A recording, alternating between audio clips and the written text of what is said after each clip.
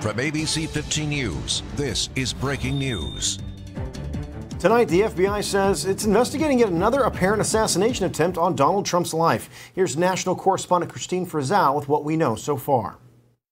Another attempt on Donald Trump's life foiled after a stunning chain of events in Palm Beach County, Florida. That includes an adept Secret Service officer just ahead of him at the Trump International Golf Course.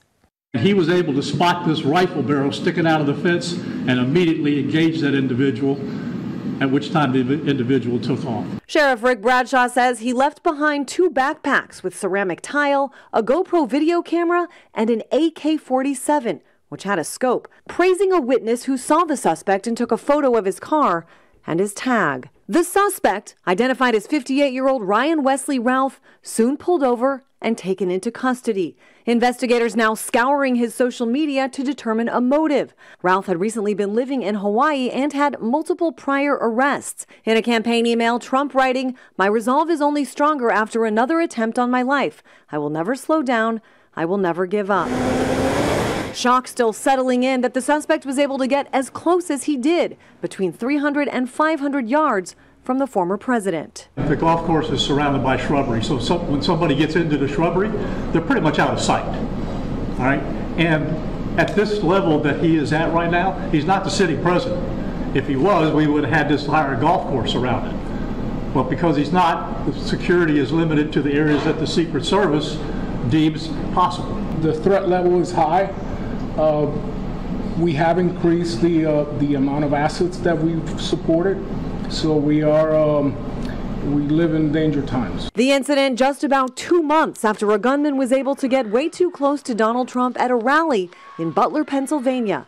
The bullet grazing Trump's ear, another killing a man at the rally. An incident critics say never should have happened. That falls to um, negligence, incompetence. Uh, being unmotivated, unwilling to do the job on a Saturday morning, a hot Saturday morning in July.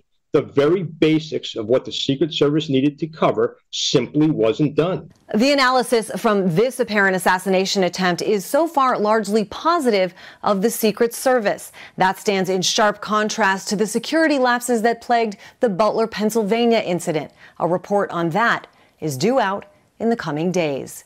I'm Christine Frizzell reporting.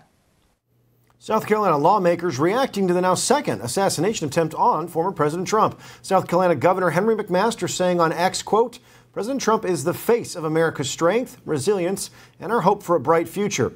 Now more than ever, his safety and security and that, that of his family is a national security issue that the Biden administration must take seriously. Congressman Russell Fry also taking to social media saying, quote, I am thankful President Trump is safe.